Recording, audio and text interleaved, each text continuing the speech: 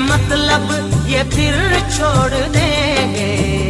बदलते हैं चेहरे हर एक काम पर ये